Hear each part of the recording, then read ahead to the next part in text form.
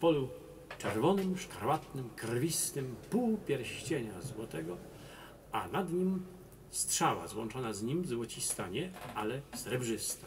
Biała znaczy się na tej czerwonej tarczy.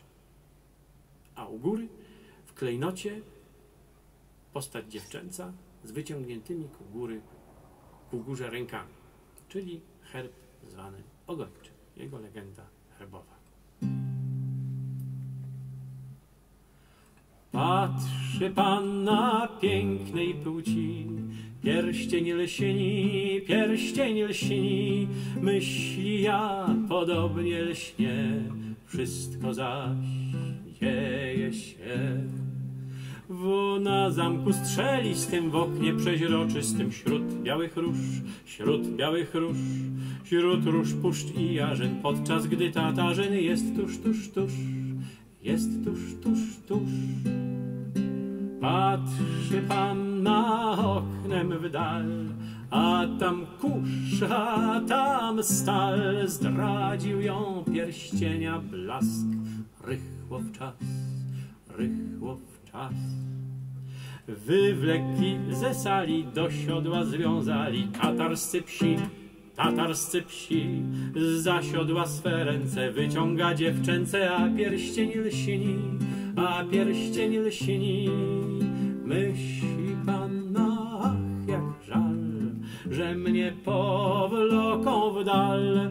Z zamku będzie gruz i dym, domem mym będzie Krym.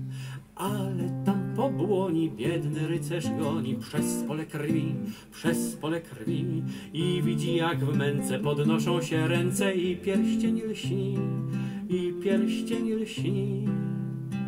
Tatar strzałę wsparł o skroń, panna podbiła dłoń, strzała poleciała w dół, pierścień jej pękł na pół.